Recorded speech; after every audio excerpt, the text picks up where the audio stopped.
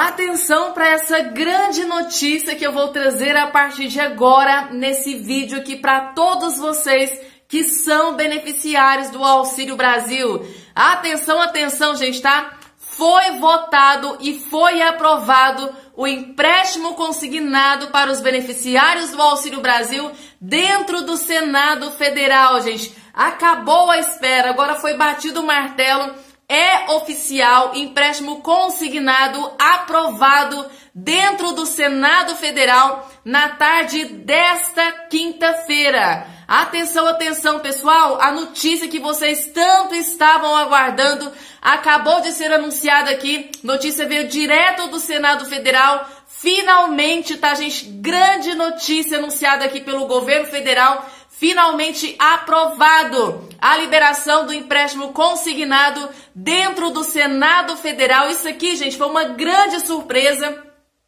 que aconteceu aqui nesse dia de hoje, nesta quinta-feira, porque essa votação não estava prevista para acontecer hoje.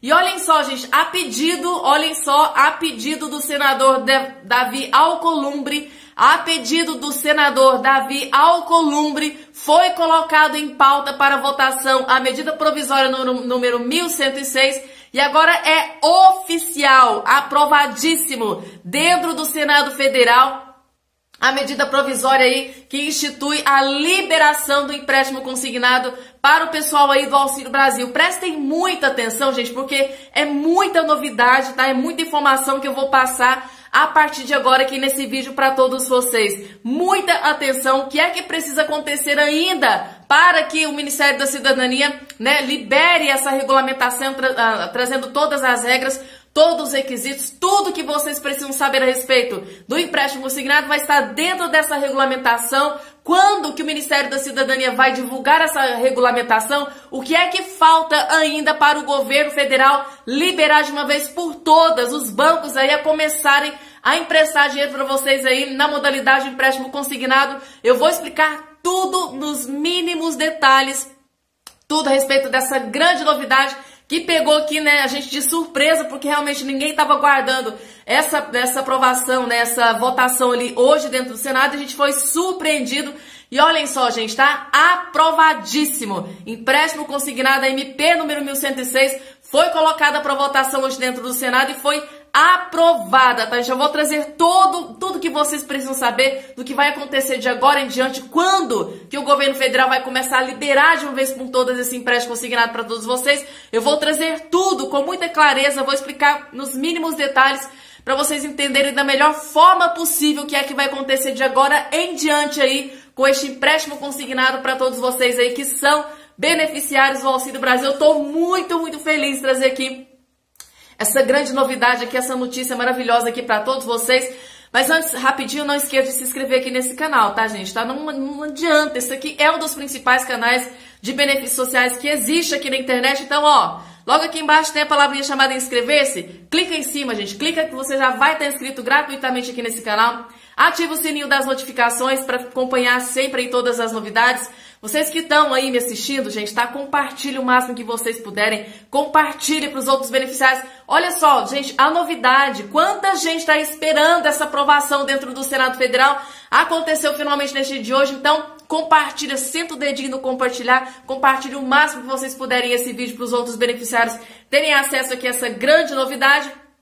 Claro, deixa o like, deixa o joinha. Se você deixar o like e deixar o joinha, já me ajuda muito, porque a gente ajuda o YouTube a entender que essa informação é muito importante e relevante para distribuir esse vídeo para os outros beneficiários aí do Auxílio Brasil, tá? Então deixa o like, deixa o joinha no vídeo. Claro, não esqueça que eu estou lá no Instagram guardando todos vocês, né, que são é, beneficiários do Auxílio Brasil, pertencem ao, ao BPC Loas, querem receber o Auxílio Gás, então estou esperando todos vocês lá no meu Instagram, Fabiana Cardoso Contadora, tá?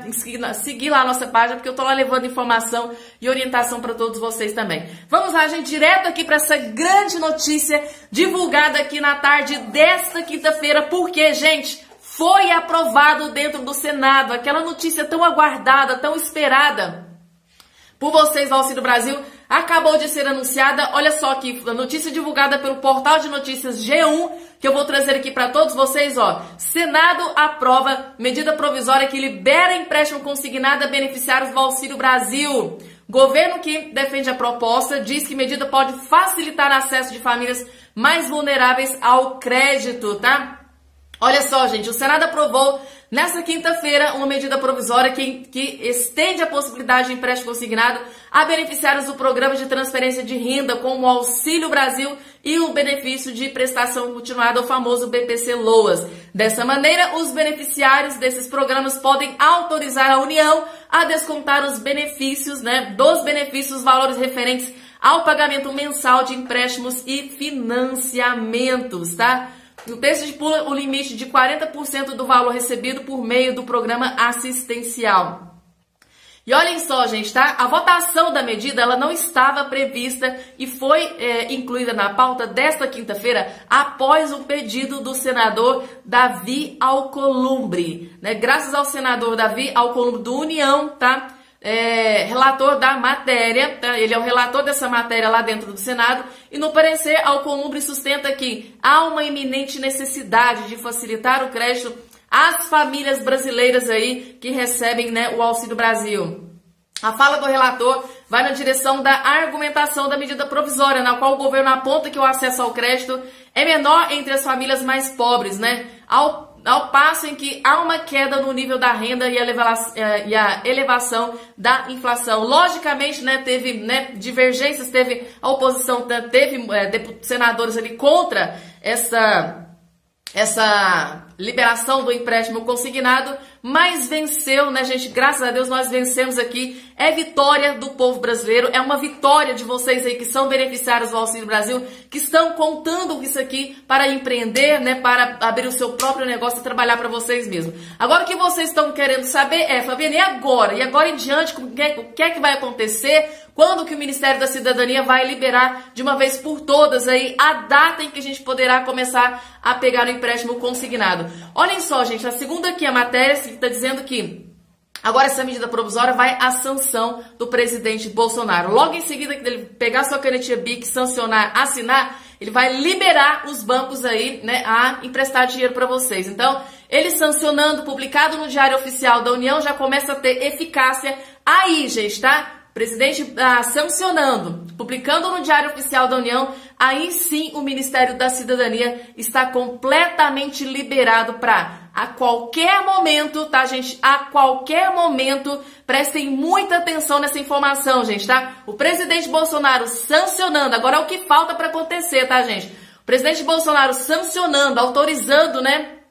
E publicando no Diário Oficial da União, aí logo em seguida o Ministério da Cidadania já vai estar completamente liberado, tá, gente? Para, né, é, divulgar essa regulamentação que é a mais aguardada do momento. Gente, essa regulamentação traz todas as respostas que a gente procura até esse momento, todas as perguntas, todas as respostas, tudo, gente. A gente vai ter aqui todas as respostas das perguntas que a gente tem até esse momento vai estar nesta regulamentação, né? Quando, qual que é a data que, que as, os bancos né, financeiros vão começar a operar? Qual é o juro máximo que eles vão poder cobrar de vocês? Qual é o número máximo de parcelas? Será que realmente vai ser R$ 2.500? Então, tudo isso vai estar dentro desta regulamentação que deve sair, gente. Se Deus quiser, ainda deve sair nessa semana ainda, até amanhã, sexta-feira. Se Deus quiser, o presidente vai sancionar logo, já vai ser lá postado, publicado no Diário Oficial da União. Se Deus quiser, até amanhã